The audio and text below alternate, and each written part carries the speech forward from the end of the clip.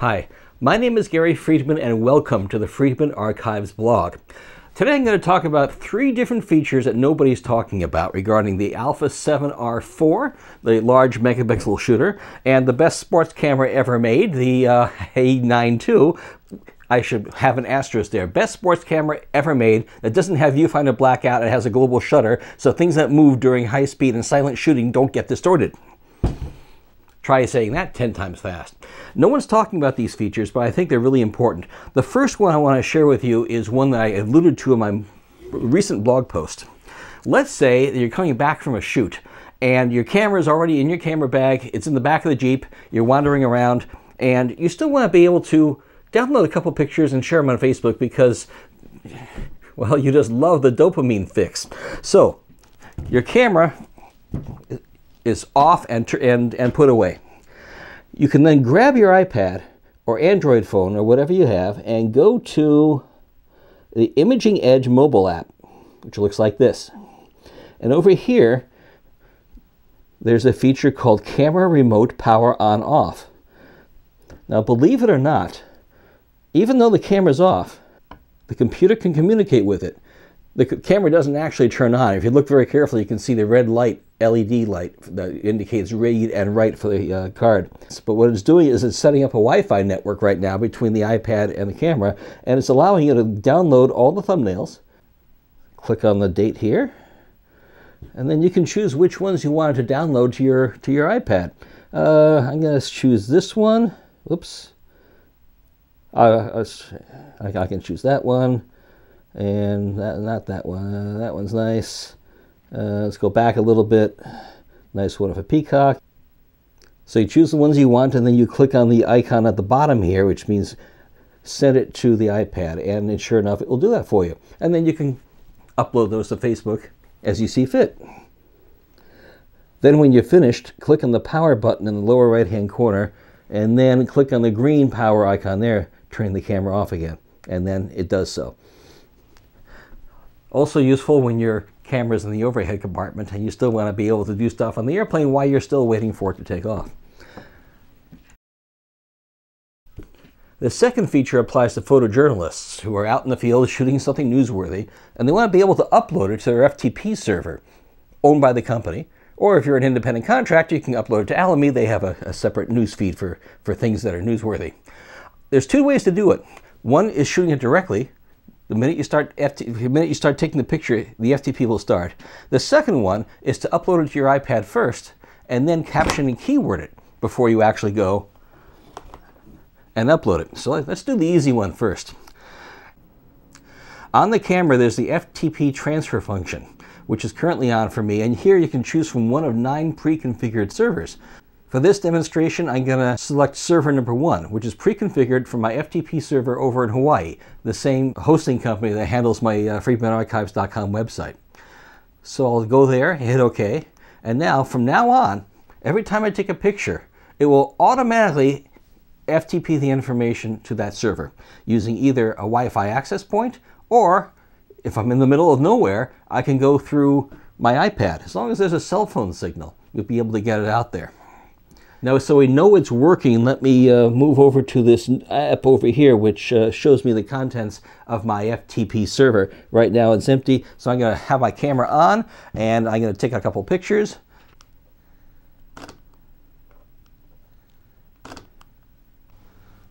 Now with the camera still on, of course the iPad's still on if you're using that to upload it uh, to the internet, you can see the FTP icon in the display with an up arrow. That means it's transferring right now. Now, for the purposes of this demonstration, just to make sure it goes quickly, I'm shooting JPEG only and the smallest JPEG size this camera can generate. Uh, if you're shooting RAW plus JPEG, it'll take about two to three minutes per image, depending on all sorts of variables, uh, but that's what you can expect. Sometimes it might be faster to actually upload them to your iPad first, select the ones you want, and then do it. In the next step, we're going to talk about that. But in the meantime, I should be able to hit refresh right here. And there we go. I just took three pictures, and there they are. In order to get it to work here, you have to make a couple of changes. The first change is you head over to your camera for FTP transfer function, you need to choose a different server. The one I have here is set up for the iPad. Select that, then hit OK. So once you change it, wait a second and look at the bottom of the screen. It'll say connecting. First, it'll find the router that I'm using. There, great, now it's connected. Now, every time I take a new picture, it will automatically go to this app. Thusly, I'm just going to take a couple random pictures here. Nothing art-worthy. And if you wait long enough, you can see the green square flashing in the upper right hand corner. It's indicating that the FTP is connecting to the camera and it's uploading an image. And the images should start showing up on the screen on the left here. Excellent.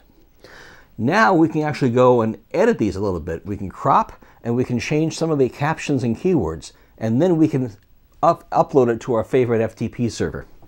So let me do that. Now the first thing you should know about captioning and keywording is you can save an awful lot of time by preloading the event and the date and the copyrights and all that to the camera ahead of time. So that way every picture you take has this stuff embedded. And you can do that in this menu over here in the setup menu.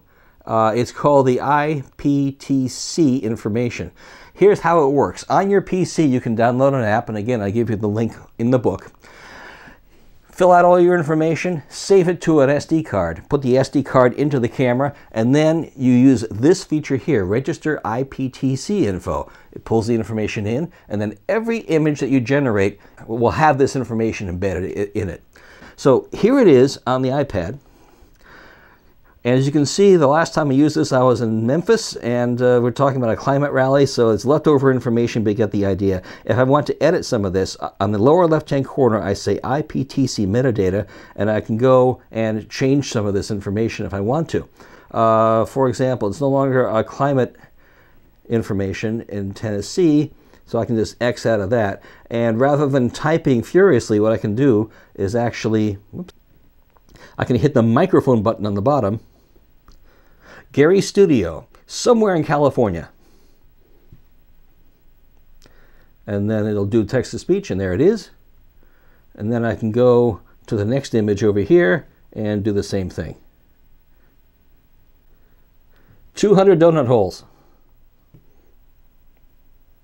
So this is a great tool if you want to be able to go through all your images, pick the best ones, caption and keyword them, and then, and then, when you're done, Click the ones you want, check, check, and hit FTP at the very bottom of the screen. There it is, and then you hit upload. Now, previous to all this, my information for global host has been put into the iPad as well. So once I caption keywords, select my favorites, I can then upload this automatically. And it can do it while I'm driving home. I don't have to wait and import everything into Lightroom, which takes a year, and then caption keyword everything and forward. And this is so much faster. You can go home and have a beer and relax enjoy your day.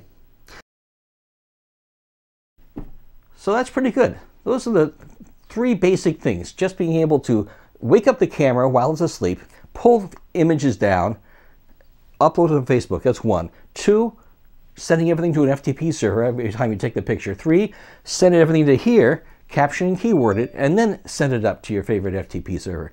There is a fourth feature only available on the A9 II.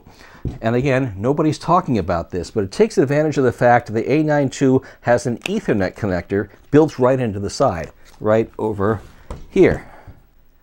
what you can do is you can take five or six A9s or A9 IIs, hook them up to a router, and then have them controlled by one piece of desktop software. So essentially, you're like shooting tethered, but you can control five or six cameras at once instead of only one.